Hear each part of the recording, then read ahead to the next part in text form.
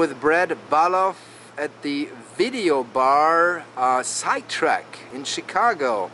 Uh, Brad, can you please introduce yourself? Hi, my name is uh, Brad Balof. I'm the general manager of Sidetrack here on Halsted Street in Chicago. So, uh, talking about Halsted, this seems to be an interesting neighborhood. Yeah, Halsted is the, I like to say the epicenter of gay culture in the Midwest. Uh, former Mayor Daley back in the 80s designated it as a gay neighborhood. Um, we have beautiful rainbow pylons out on the street. We have an outdoor museum of LGBT figures throughout history and some of the greatest like clubs and businesses uh, that you'll find in Chicago and the Midwest.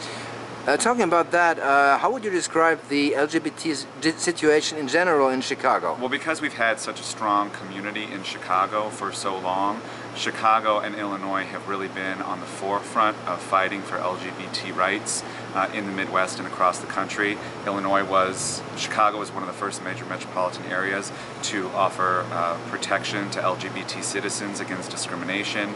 Uh, the state of Illinois was one of the first to offer civil unions, uh, one of the first to offer gay marriage before it was national. And so while you've got really strong um, allies in California and New York also fighting for LGBT rights, Illinois has really been uh, the place in the Midwest where that work has been done. Okay.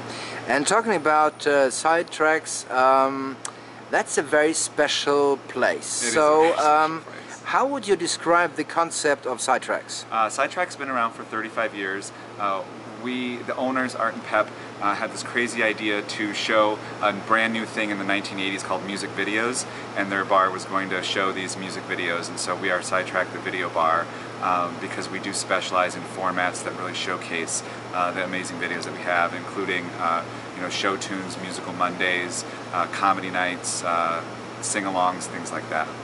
Thanks very much, Brad. I'm looking forward to see that tonight. Bye-bye.